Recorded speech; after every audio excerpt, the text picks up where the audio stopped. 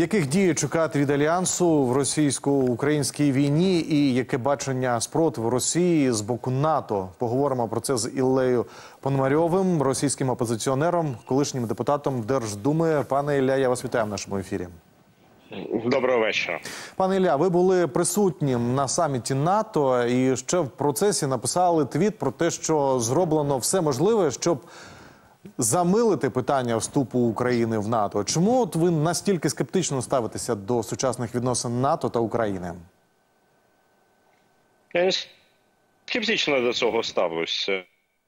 Навпаки, я вважаю, що функціонерів НАТО вони прагнуть е, того, щоб Україна була в складі альянсу, і навіть е, ну вже можна казати, колишній е, генсек НАТО про це про це казав. І я знаю, що цієї позиції підтримує так само і новий генсек Марк Рюте. Але позиція. Перш за все, сполучених штатів, ну і також Німеччини і певних інших європейських країн вона інша. Вона вони стурбовані через можливу ескалацію. Вони бояться Путіна.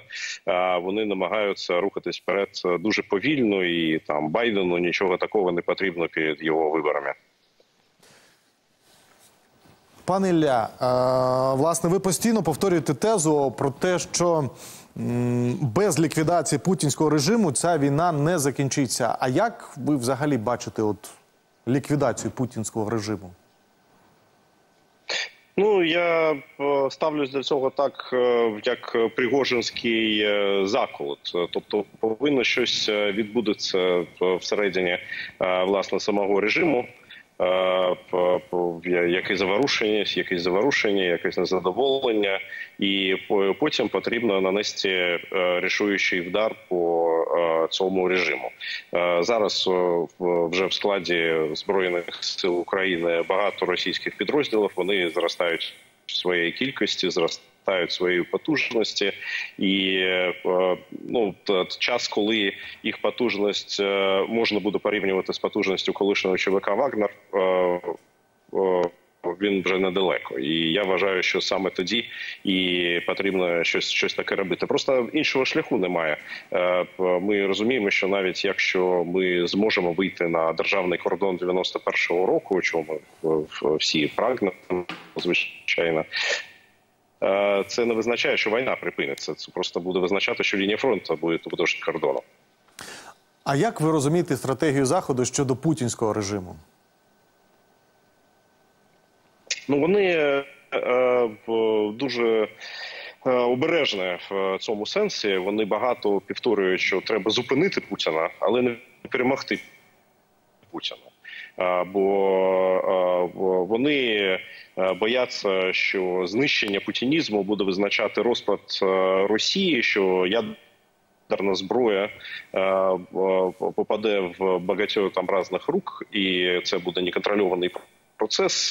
Ми багато е, кажемо про те, що подивитися на процес розпаду радянського союзу. Це вже відбувалося, і і саме тоді були.